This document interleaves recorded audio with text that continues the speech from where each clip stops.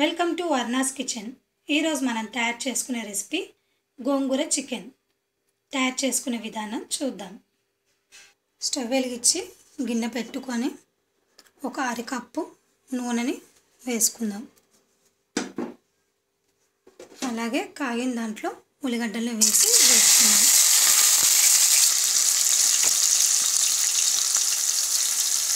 పసుపు అర tea spoon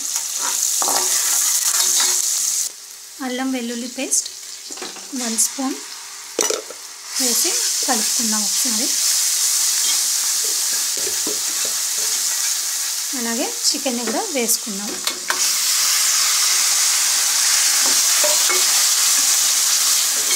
ఒక ఐదు నిమిషాల పాటు మూత పెట్టి ఉడికించుకుందాం. ఇప్పుడు మన ఫైవ్ మినిట్స్ అయిపోయింది. హాఫ్ కేజీ చికెన్కి నాలుగు గోంగూర కట్టల్ని తీసుకొని శుభ్రంగా కడిగి రిల్లి మనం ఇందులోకి వేసుకుంటున్నాం.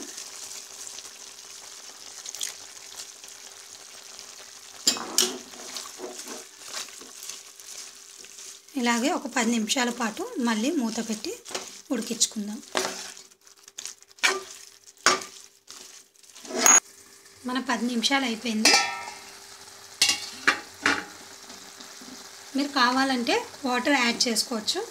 నేను మాత్రం యాడ్ చేయట్లేదు. ఇప్పుడు కారం వేసుకుందాం. టూ స్పూన్స్ కారం. వన్ స్పూన్ ఉప్పు. ఇప్పుడు మరొకసారి కలిపి ఒక రెండు నిమిషాల పాటు మూత పెట్టి పెట్టుకుందాం.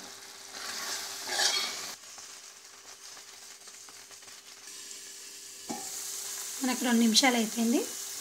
ఇప్పుడు మన స్టవ్ కట్టేసి బౌల్లోకి తీసుకుందాం.